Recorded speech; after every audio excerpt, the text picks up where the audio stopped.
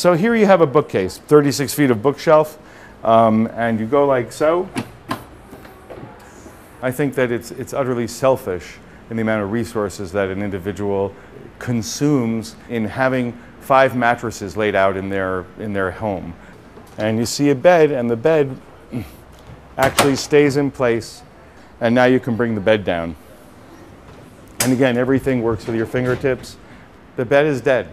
It's just that simple. It's time to use those bedrooms in a much more functional way. With the value of real estate changing so much, resources becoming scarcer and scarcer, the population growing, urbanizing, space is much, much more to premium.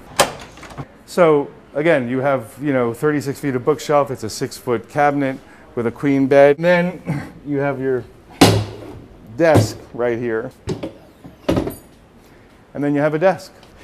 So you have 36 feet of bookshelf, a five and a half foot desk, and a queen bed with a headboard, all in the space of two by six feet.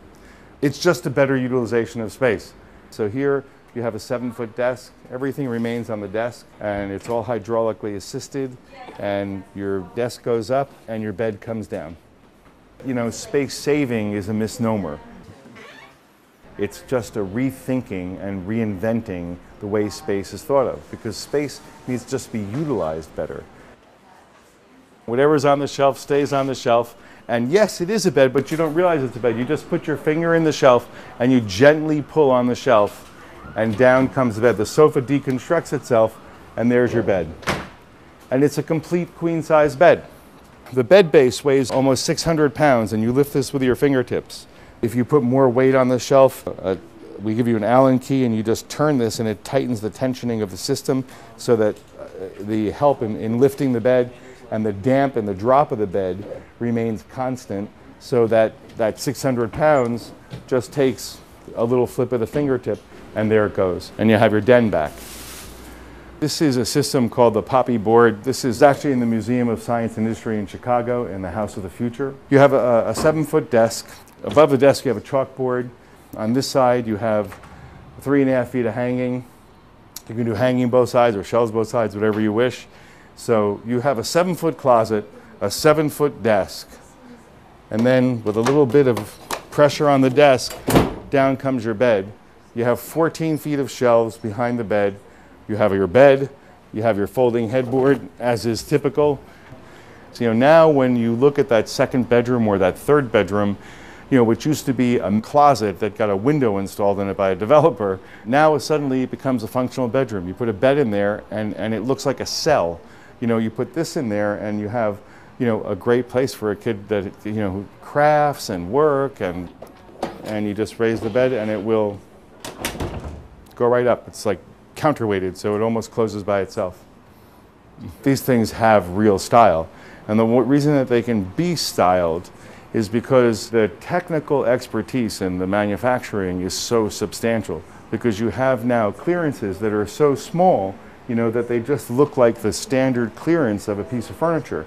So if you're going to make a cabinet or a cabinet door it doesn't have that much more reveal than just a regular cabinet door does. So you're not looking at gaping holes and giant clunky hardware and big pieces of overlaid molding trying to hide different things you're basically looking at the essence of design, the essential of the design, and you're getting all the function without giving up the design.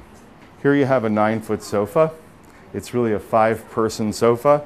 There's been other wall beds and Murphy beds in the past, but the problem is that they really didn't do anything other than sit there and do nothing you know, you had a two foot deep clunker in, the, in your room and you couldn't put anything in front of it. So this recreates the use and reinvention of the space because you have a sofa or you have a desk, a work surface, or you have a bookcase, and anything that's on the shelf stays on the shelf. That's fully functional as its own object, as a desk, as a sofa. And then when you bring the bed down, the bed is a real bed. It's fully sprung. It has a sprung base. The cabinet's only 13 inches deep. It's a whole different parameter of what the category was previously thought of. We encounter constantly growing families. Growing means less space, so what do you do? So here you have your bed. And then up here, again with your fingertips, you have another bunk bed. It has a full protective barrier. And this cabinet is, is 12 and a quarter inches deep. So it takes up the depth of a bookcase, practically nothing in a room. A ladder that uh, locks in place and is, you know, becomes structural. And the interesting thing about this, one of the very interesting things about this bed, is when you remove the ladder and you wish to make the bed, all you have to do is release this lever and the mattress comes down to you and you can make the mat make the bed standing on the floor. And just you make the bed and you put it back up and it's locked back in place. Tuck and fold and everything is piston operated, works with your fingertips. And then up here, you have seven feet of storage. The kids want to play, you just fold up the beds and you have your entire room back. So here you have a nice little sofa for a young adult. Maybe you need two guest bedrooms because you've got six kids and 14 grandchildren, but perhaps those bedrooms don't need to be just beds sitting there. So here you have a coffee table, and the coffee table turns into a dining table in just a few seconds. You know, the whole point of this furniture is that you occupy or purchase a space, and instead of occupying that space in the way it's been prescribed for you, you can determine how that space is to be utilized and occupied. So a dining room, a formal dining room, it's an interesting concept nowadays. You want a dining room table for 10 or 12 people, but you can't dedicate a room that just sits there that you use three times a year or even once a week. You can extend the console from 17 inches to 117 inches. It has five leaves and you can use whatever amount of uh, leaf you want. The leg is adjustable, so depending upon the number of leaves, it's an aluminum bridge essentially, and it all just goes back together. Well, here's the table you can see with four leaves in it. This is 97 inches. You know, we, we leave it with four, but you can put your fifth leaf in 117 inches. Here you have another example of the bed is dead. You have a desk or a dining room table. With your fingertip, you go like so. This releases the bed and it automatically goes down and the bed comes down over the table with your fingertips, and there you are. And it's a regular bed. There's no gap between the mattress and the headboard. There's no place for your pillow to fall into.